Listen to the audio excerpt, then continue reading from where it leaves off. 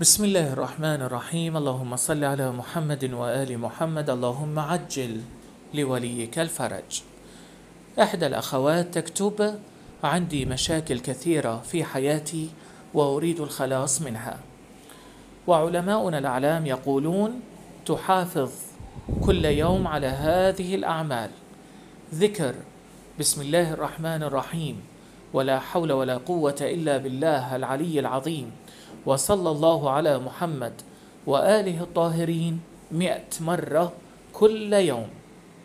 قول يا لطيف أدركني بلطفك الخفي 129 مرة.